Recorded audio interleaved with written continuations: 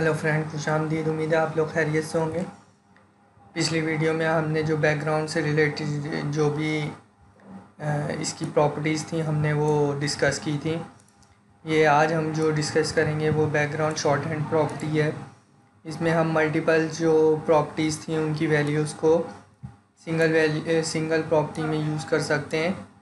तो आप जैसे ये देख रहे हैं वैल्यूज़ इसमें हम बैकग्राउंड कलर की वैल्यूज़ यूज़ कर सकते हैं बैकग्राउंड इमेज की को यूज़ कर सकते हैं बैकग्राउंड रिपीट की वैल्यू को यूज़ कर सकते हैं बैकग्राउंड अटैचमेंट और बैकग्राउंड पोजीशन की वैल्यू को हम इसमें यूज़ कर सकते हैं।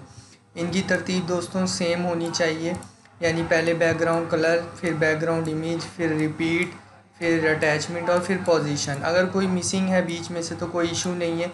अगर जैसे कि मैं ये बैकग्राउंड कलर लेता हूँ और फिर पोजीशन ले लेता हूँ तो कोई मसला नहीं है। या बैकग्राउंड इमेज लेता हूँ और अटैचमेंट और पोजीशन ले लेता हूँ रिपीट नहीं लेता तो इसका कोई इशू नहीं है। इसके बाद लेकिन सीक्वेंस यही होना चाहिए इसका। तो चलते हैं, मैं आपको दिखाता हूँ फिर। यहाँ पे मैंने एक डिब लिया हुआ है और उसमें मैंने एक इमेज सेट की हुई है। जैसा कि आप ये देख सकते हैं, ये मैंने शॉर्ट हैंड वैल्यू इस्तेमाल की हुई है। तो मैं आपको एक और चीज़ दिखा देता हूँ उसमें। कि अगर मैं बैकग्राउंड की जो प्रॉपर्टी है, उससे नीचे बैकग्राउंड साइज़ को यूज़ करता हूँ। तो आप देखिएगा कि ये इमेज जो है इसका साइज़ जो है टू हंड्रेड पिक्सल हो जाएगा, ये देखें। अगर इसी चीज़ को मैं बैकग्राउंड की जो प्रॉपर्टी है, उससे ऊपर इस्तेमाल करूँगा तो आप देखिएगा, ये इस पर कोई असर नहीं पड़ता। तो इसको ध्यान में रखना लाजमी है।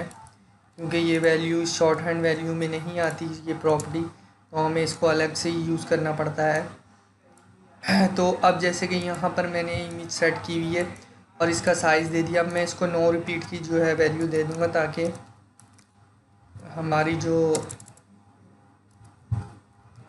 वैल्यू है वो रिपीट ना हो, जैसे सिंगल लाए आप देख रहे हैं आ चुकी है।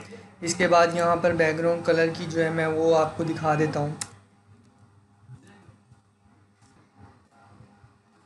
ये देखें ये कलर भी अप्लाई हो गया है और इस तरह मैं इस कलर को रेड कर देता हूँ। और इमेज भी सेट है। देख रहे हैं आप, ये हमने तीन प्रॉपर्टीज़ एक ही सिंगल तीन वैल्यूज़ एक ही सिंगल प्रॉपर्टी में हमने यूज़ कर ली हैं। इसके अलावा मैं यहाँ पर जो है अटैचमेंट वाली वैल्यू भी इसमें ले लेता हूँ।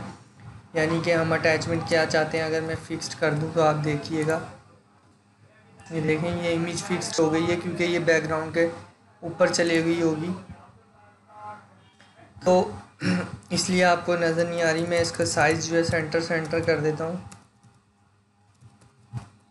इसकी पोजीशन जो है सेंटर सेंटर कर देता हूँ।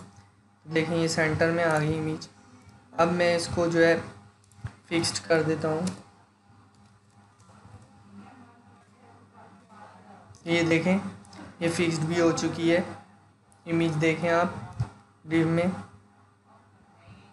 अगर मैं फ़ीस हटा दूँ तो आप देखिएगा।